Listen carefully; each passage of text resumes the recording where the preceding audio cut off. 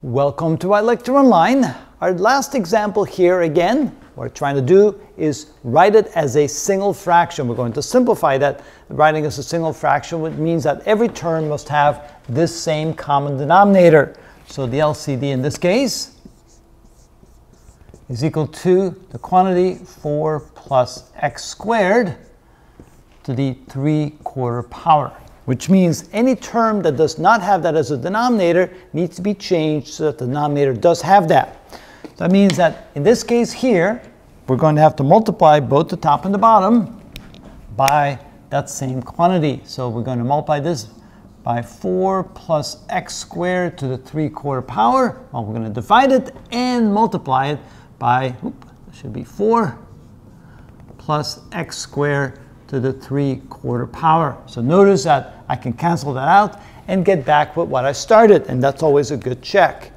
Now that we have this as a common denominator, we can write over single denominator. So this can be written as x squared minus the quantity 4 plus x squared to the 1 quarter power times 4 plus x squared to the 3 quarter power all over common denominator of 4 plus x squared to the 3 quarter power. So this becomes equal to x squared minus, now here since the bases are the same, we're going to add exponents, so this becomes 4 plus x squared to the 1 quarter plus 3 quarter or 4 quarters power, all divided by 4 plus x squared to the 3 quarter power. Of course, this is the same as to the first power, so this can now be written as x squared minus 4